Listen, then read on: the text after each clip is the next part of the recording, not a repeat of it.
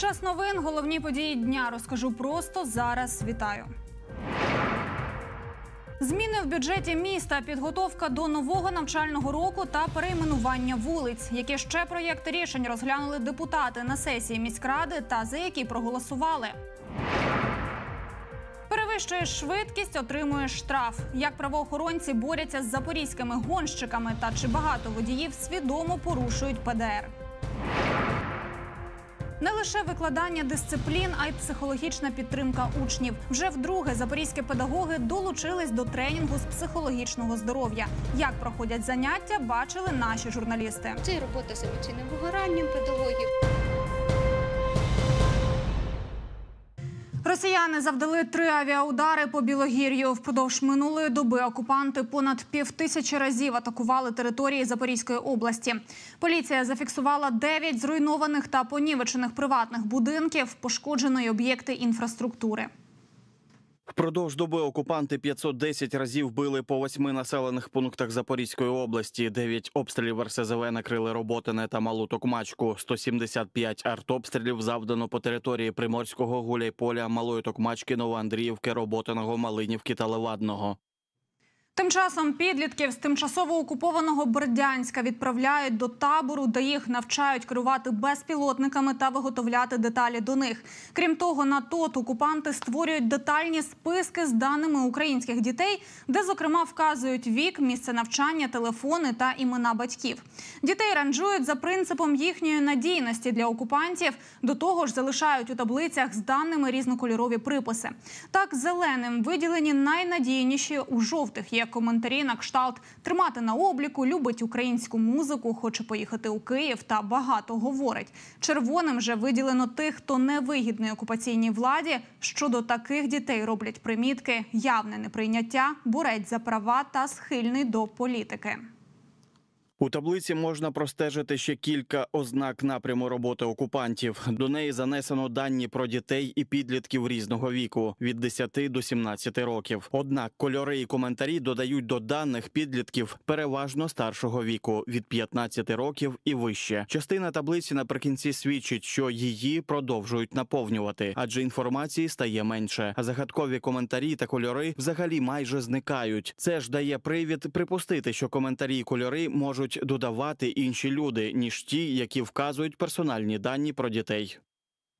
А на лінії фронту бійці 65-ї окремої бригади не дають окупантам розслабитись. На цих кадрах росіянам експрес-поштою надсилають подарунки.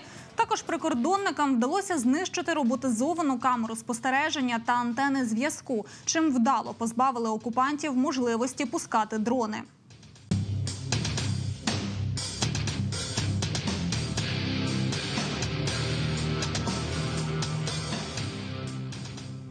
Продовжуємо оперативною інформацією по Україні. Вранці 14 серпня окупанти вдарили по центру Куп'янська, що на Харківщині зафіксовано влучання у пункт отримання гуманітарної допомоги.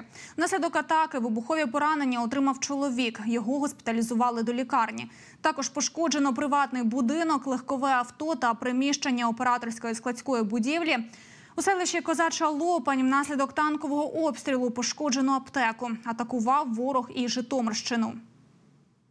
Вночі ворог знов атакував Житомирщину дронами камікадзе. Під удар потрапив один з інфраструктурних об'єктів. Завдяки ефективній роботі сил протиповітряної оборони області було знищено три дрони камікадзе типу шахет Герань. Уламками пошкоджено приватні будівлі. Жертв та постраждалих немає.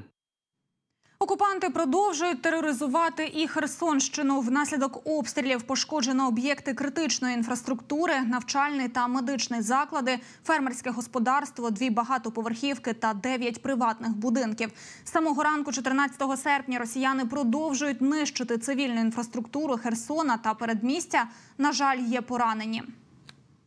Близько шостої ранку під ворожий удар у місті потрапило троє людей, які перебували в будинку. Це 39-річна жінка та її 15-річна донька, а також 41-річний чоловік. Дитину з мамою госпіталізували з вибуховими травмами, контузіями. У жінки також поранена спина. У п'ятій ранку російські війська атакували кіндівку. Постраждали двоє людей. Бригада швидкою доставила до лікарні 49-річну жінку та 58-річного чоловіка. У них контузії, вибухові травми травми та уламкові поранення. Крім цього, до лікарні самостійно звернувся 59-річний житель Антонівки, який через ворожий обстріл дістав уламкове поранення предпліччя та гомілки.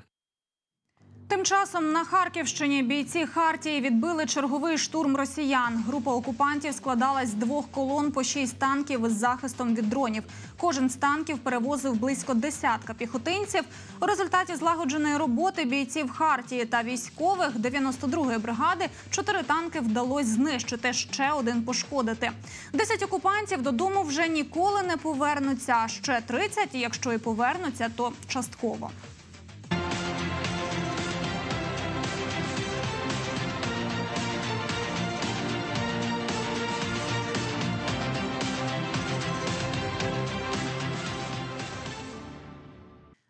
Виведення закладів освіти у змішаний та очний формати навчання, створення департаменту з питань ветеранської політики та виділення коштів на утримання доріг.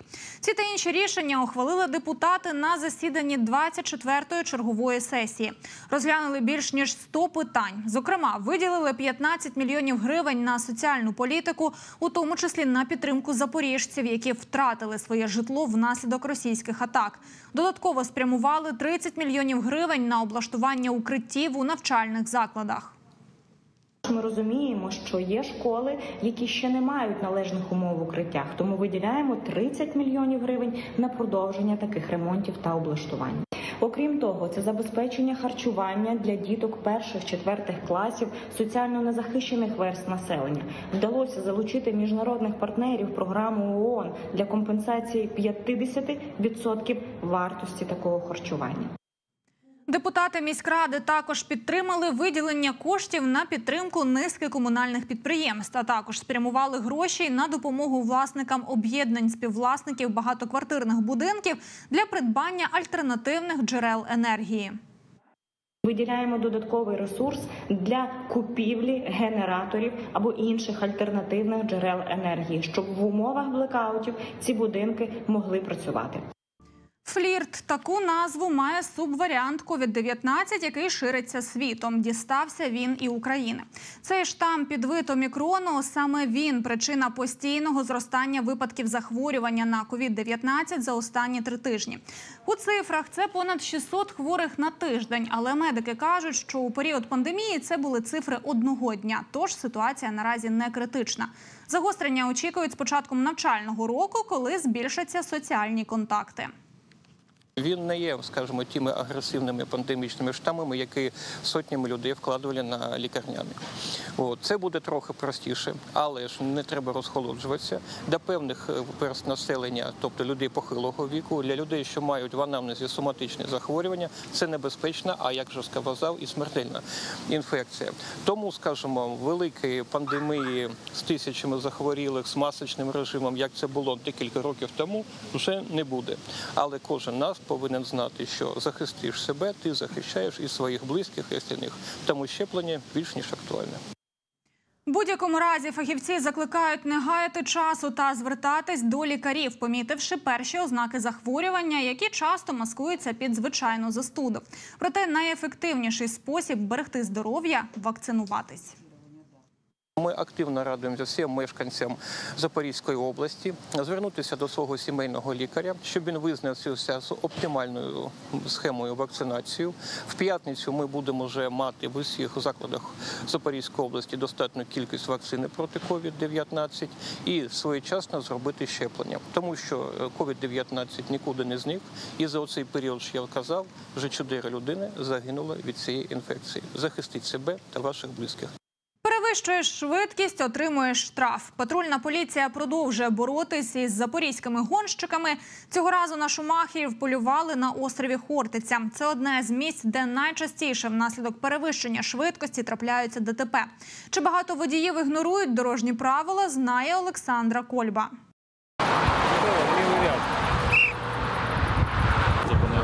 Статті 30. Зупинили на підставі статті 35 закону України про національну поліцію, стаття 1, пункт 3. А саме є підстави вважати, що ви вчинили адмінправопорушення, а саме перевищення швидкості в населеному пункті. Зафіксовано за допомогою приладу трукам 81 км на годину. Їхали ось за машиною попереду. Попереду вас машина їхала менше 73 км на годину. Покажете відео? Так, будь ласка. Та примостилися за машиною, яка була попереду нас. Це вже четвертий водій, якого зупинили патрульні за останню годину. Острів Хортиця одне з місць, де трапляється найбільше аварій саме через перевищення швидкості. Вже за кілька хвилин патрульні фіксують ще одного порушника. Старший лейтенант поліції Завзьон зупинили на підставі статті 35 Щас закону України про національну поліцію, а саме зафіксовано перевищення швидкості населеного пункту більш ніж на 20 км на годину.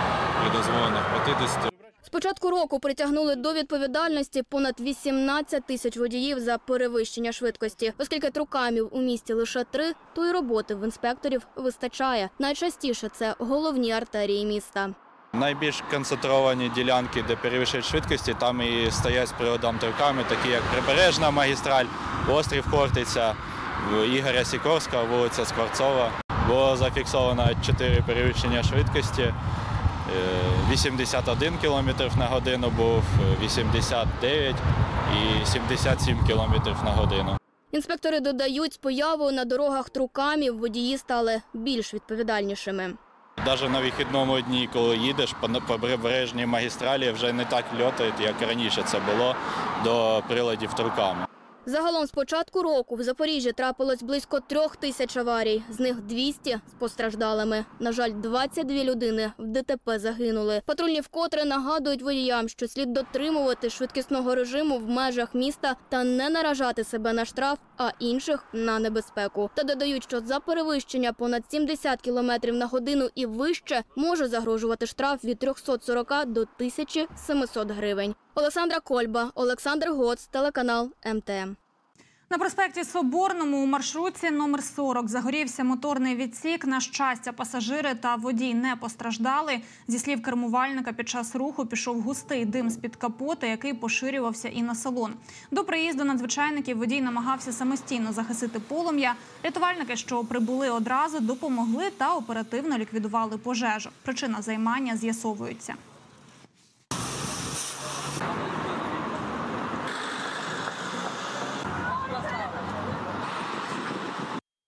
Доїхав, але не туди. У Заводському районі водію завадив гараж, дерево та причеп, аби проїхати. Як виявилось, чоловік був під дією наркотиків, що загрожує водію та про інші події в регіоні. Далі у нашому дайджесті. Влетів у гараж, зніс дерево та причіп. У Заводському районі патрульні затримали водія, який був під дією наркотиків. Проходити огляд чоловік відмовився. До того ж, інспектори виявили, що кермувальник ще й без прав, бо вже двічі за рік мав штрафи за керування у нетверезому стані. За фактом аварії на водія склали три адмінпротоколи, а авто евакуювали. На Запоріжжі СБУ затримали місцевого жителя, прихильника російської партії ЛДПР, яка підтримує війну проти України. На власній сторінці в однокласниках чоловік агітував за підняття російського прапора на території України. Затриманому повідомлено про підозру за двома частинами статті Кримінального кодексу України. Зловмиснику загрожує до восьми років за ґратами з конфіскацією майна. Зловмисник публічно підтримував збройну агресію РФ та закликав до захоплення всієї території нашої держави. Нарубав дров на штраф у 7 тисяч гривень. Екоінспектори південного округу затримали чорного лісоруба, який у Заводському районі хотів нажитись на зелених насадженнях. Чоловік встиг зрубати 5 дерев. За фактом події на порушника складено адмінпротокол. Шукають водіїв, електромонтерів та газозварювальників. Зараз на обліку в обласному центрі зайнятості перебувають понад 7 тисяч 500 безробітних. Понад 800 вакансій пропонує для вимушених переселенців та військовослужбовців Запорізький обласний центр зайнятості. З початку цього року працевлаштувались майже 740 ВПО. Їх серед зареєстрованих у центрі зайнятості майже половина, зауважила директорка установи Зінаїда Бойко. 39 осіб проходять профнавчання е, з метою отримання нової професії, і е, 179 були залучені до громадських та суспільно-корисних робіт. Е, 133 особи безоплатно отримали від служби зайнятості ваучер на навчання для підвищення свого рівня. Е, 15 осіб отримали мікрогранти для створення або розвитку власної справи. Також захисники та вимушені переселенці мають можливість отримати другу спеціальність або підвищити рівень своєї освіти. Для цього обласний центр зайнятості пропонує ваучери на навчання у запорізьких освітніх закладах. Ваучер на навчання е, складає е, оплату за про- проведення навчання більше ніж 30 тисяч гривень. Тому будь-яка людина, яка сьогодні е, бажає підвищити рівень своєї е, професійної професійних здібностей, е, може отримати такий ваучер. Більше того, на сьогодні пом'якшені умови отримання ваучерів, ваучерів, особливо це стосується внутрішньопереміщених осіб, бо до е, цього часу ваучер мали отримати люди, яким більше 45 років і які мають певний трудовий страховий стаж. На сьогодні для внутрішньопереміщених осіб і для осіб, які є захисниками і захисницями, цей е, термін е, не має ніякого значення. Близько 70 шкіл міста готові розпочати навчальний процес у вересні у змішаному або очному форматі. Укриття в цих закладах освіти відповідають усім вимогам безпеки. Не просто сховище, а повноцінний навчальний простір має і Запорізька гімназія номер 6 Тут ще з 1 квітня почали працювати за змішаною формою, тож мають позитивний досвід. Заклад ґрунтовно підготувався не тільки до зустрічі з дітьми, але й до можливих холодів. Для цього в укритті, що облаштували в окремій будівлі, встановили тепловий пункт та генератор. На випадок аварійних ситуацій техніка може забезпечити перший поверх та укриття світлом. Проте, за словами секретаря міської ради Регіни Харченко, майже 40 закладів освіти не зможуть почати навчальний рік очно.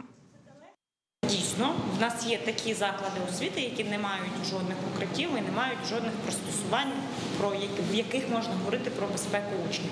Тому станом на сьогодні ці школи можуть виходити на навчання в дистанційному форматі, або вони можуть переводити діток до тих шкіл, де можлива ця функція змішаної форми або очної форми освіти.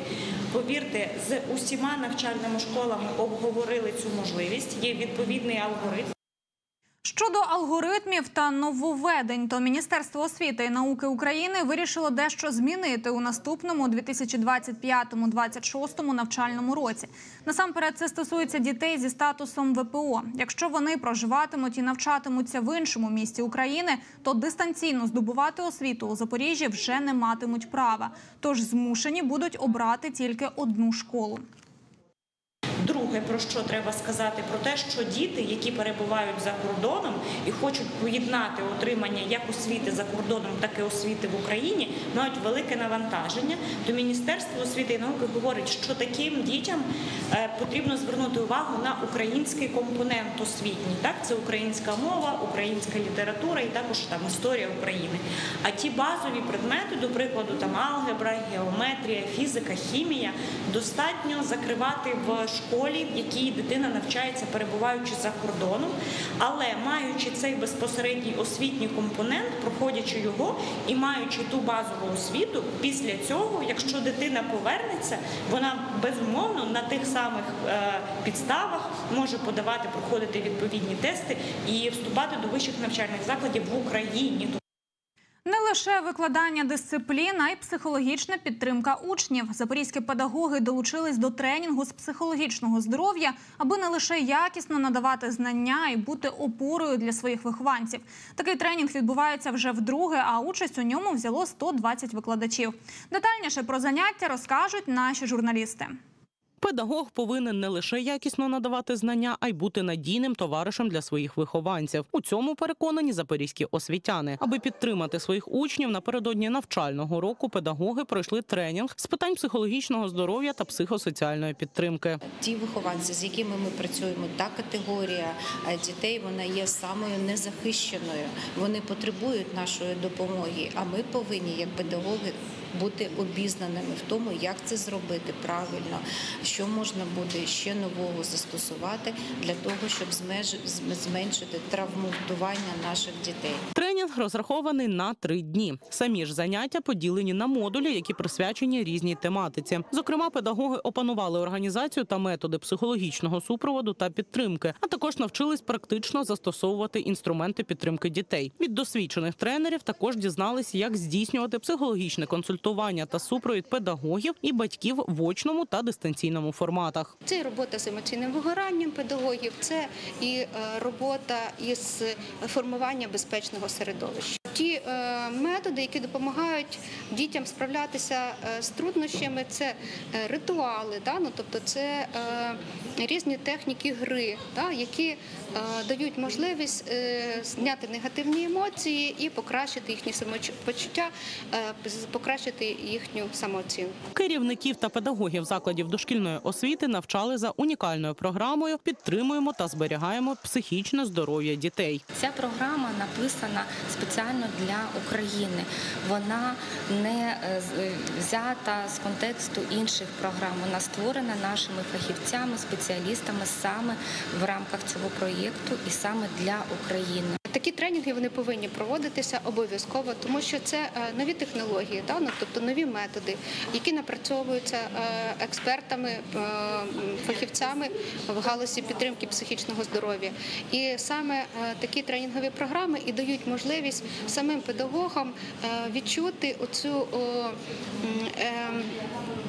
Підтримку да, один від одного, поділитися досвідом, поділитися своїми напрацюваннями, знаннями, вміннями, навичками і здобути нових методів психологічної підтримки і допомоги. Тренінг відбувається за підтримки ЮНІСЕФ, Всеукраїнської громадської організації Асоціація працівників дошкільної освіти та за підтримки Міністерства освіти і науки України. Такі заняття у Запоріжжі відбуваються вже вдруге. Даний тренінг проводиться вже вдруге. Він охопив уже 120 педагогічних працівників. Весною е, цього року 60 педагогічних працівників мали змогу прийняти участь у тренінгу. І наразі 60 ще педагогів у нас навчаються на цьому тренінгу. Серпня місяця працюють 65 закладів в проєкті, які надають змогу прийняти участь е, очних зустрічей більше 1600 дітей дошкільного віку. Це працюють 109 груп. Вдруге беруть у ньому участь і вихователі дитячого садочка Веселинка. Директорка закладу зазначає, цей тренінг став не лише важливим етапом у професійному розвитку педагогів, але й джерелом натхнення для впровадження нових ідей у навчально-виховний процес. Я радію, що мені довелося сьогодні долучитися до триденних тренінгів, оскільки це не тільки знання і інструменти для створення соціально-педагогічного супроводу та психологічної підтримки в своєму закладі освіти. Це ще й значний ресурс для мене, як для керівника, для того, щоб наповнювати комфортом, спокоєм, впевненістю свій заклад. Протягом трьох насичених днів педагоги мали можливість зануритись в атмосферу творчості, командної роботи, активного спілкування та практичних вправ. По завершенні учасники отримали сертифікати про підвищення кваліфікації щодо психологічного супроводу та підтримки учасників освітнього процесу в кризових умовах. Наталія Юр'єва, Антон Бондаренко, телеканал МТМ. Досконалення української за допомогою віршів у центральній міській бібліотеці в рамках реалізації проєкту Мовні вправи відбулась декламація авторських творів запорізьких поетес. Ключовою темою стала війна, сили наших захисників та віра у перемогу. Під час зустрічі поетеси презентували як нові вірші, так і ті, що були створені з початку воєнної агресії Росії. Актуальні теми зараз, те, що турбує суспільство. Дуже багато стало писати про війну і ну, вірю в те, що скоро напишу про перемогу. Я дуже емоційна людина, тому будь-які сильні емоції надихають мене, і я присвячую цьому свої твори. Для мене, от е, такі гострі обставини, якими є війна, е, і страх, і ненависть до ворога, і біль е, через втрати, які ми постійно зазнаємо, і гордість за наших захисників, усе це для мене стає таким згустком, який підштовхує мене писати, висловлюватись.